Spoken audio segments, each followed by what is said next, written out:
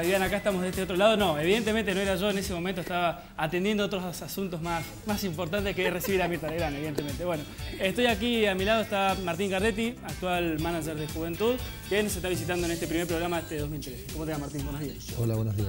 Bueno, Martín, eh, imagino que contento porque en el día de ayer se inició de la mejor forma en el, el, decagonal, ¿no? Oh, bien, bien. Eh, como vengo diciendo siempre, tenemos que disfrutar esta participación de pelear por, un ascenso. Somos conscientes del equipo que, tenemos, que armamos y los chicos también. Por suerte se, arrancó con el pie derecho. ¿Esperabas eh, a inicio de temporada, cuando por ahí eh, no aparecía el presupuesto, por ahí eh, hasta en un momento se, habían rumores de que Juntón iba a participar, de estar en este momento, seis meses después? Mirá, la ilusión, una vez que arrancamos, la ilusión siempre está. Yo siempre dije el primer día se lo dije a Ricardo, en ese momento era el presidente, le dije que íbamos a clasificar. Yo tenía mucha fe del grupo que habíamos armado, de los jugadores que traíamos, y, se lo dije a los jugadores que yo estaba tranquilo que, podíamos pelear. Y estuvimos todo el año, creo que le la primera fecha, la segunda, estuvimos todo el año metidos entre los clasificados y bueno, en las últimas dos fechas dimos el paso y terminamos segundo. Bien, esta semana se va a cumplir un año desde tu llegada a San Luis. ¿Qué balance haces en, este tiempo acá en la provincia? Eh, te encontraste con un club muy, muy difícil de trabajar en el sentido de, profesionalizar el fútbol y todas esas cuestiones. Es difícil cambiar la, la idea y el ritmo que del fútbol. El fútbol estoy acostumbrado a otro fútbol que, es todo más todo más dinámico, todo, es todo ya y por ahí esas cosas a veces se complican pero después para trabajar los dirigentes siempre me dejaron toda la, tranquilidad y, con eso estoy muy bien. Las cosas difíciles son siempre vamos un día atrasado. AFA cierra y abre la liga acá. Eh, son cosas que es todo al revés y, es complicado de, manejar a veces. Ahí estamos viendo algunas imágenes de tu paso por, Francia, París Saint Germain. ¿Qué le puede aportar Martín Cardetti con su experiencia en el fútbol argentino, en el fútbol europeo, a este juventud? Yo creo que el tema de lo que, hablabas antes, tratar de hacer un club un poco más profesional, eh, de trabajar como se está trabajando hoy, que creo que los niveles de cómo se está trabajando es a nivel profesional, y inculcarle a los chicos que queremos un club para subir y para estar bien.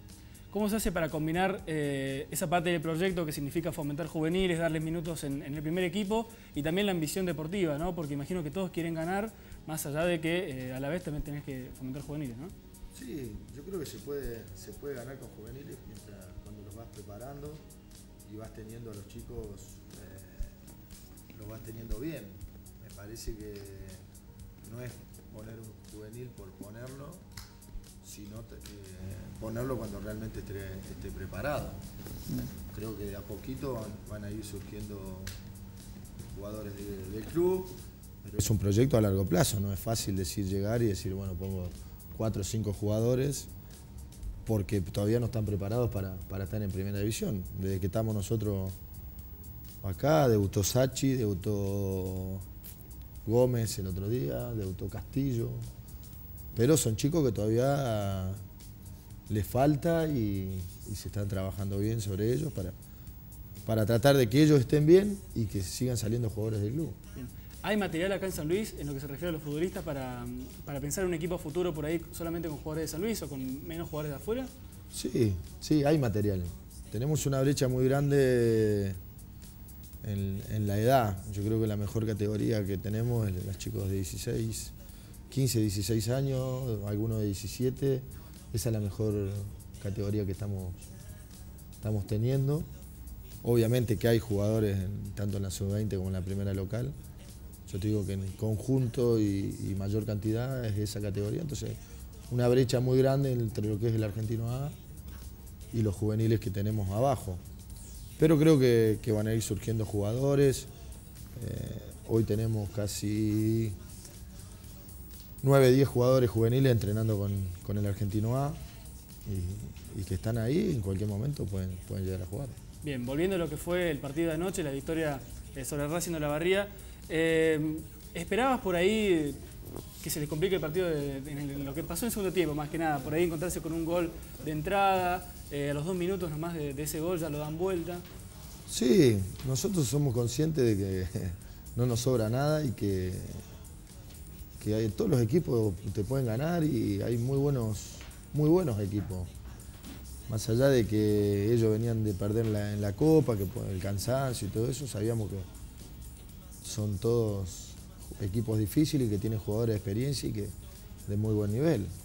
Ayer antes del partido se le lesiona a Van y eso para nosotros también fue una especie de suerte porque es uno de los mejores jugadores que tiene, que con Altamirano se entiende muy bien y bueno, sabemos lo que es Altamirano, le quedó una tranquilo y fue para adentro.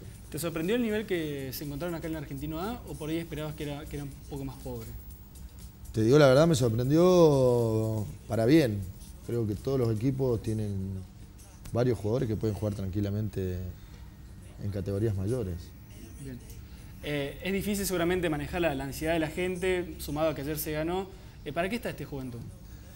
Para dar pelea. Los chicos se dieron cuenta de que que estamos al nivel de, todos. Obviamente que hay equipos muy grandes, pero nosotros pensamos que, podemos dar pelea. Yo creo que, no te digo ascender, pero podemos dar una sorpresa a varios, podemos ascender. Bien. Juventud, en el caso de que salga todo bien, pueda lograr un ascenso, ya sea por esta vía o por otra, en el caso, hablando no utópicamente, eh, ¿está preparado el club para aguantar un torneo nacional B o por ahí le falta más estructura? No, mira, tenemos cancha tenemos, tenemos lugar de entrenamiento que se estará mejorando muchísimo. Los chicos del club estamos haciendo cosas para que sepan lo que es el sentido de la pertenencia y cuiden más el predio, están pintando. Eh, hay cosas que estamos haciendo y tenemos cuatro canchas de entrenamiento, que es muy importante. No sé cuántos equipos de Nacional B tienen cuatro canchas así. Eh, se está mejorando en muchas cosas y día a día la dirigencia quiere más y quiere trabajar. Obviamente que no es lo mismo un argentino que un Nacional B, pero creo que con la ilusión que tenemos todos de, jugar a una categoría más arriba, se pueden dar las cosas para, estar bien. Bueno, bueno Martín, muchas gracias por, la visita. Desearte el mejor de los éxitos acá en San Luis, porque si le va, si le va bien a tu gestión, también le va bien al fútbol de San Luis y al club. Así que bueno, muchas gracias por tu visita y lo mejor. No, muchísimas gracias por la invitación. Bueno. Eh, Viviana, seguimos con vos. Bueno, muchísimas gracias, Chia.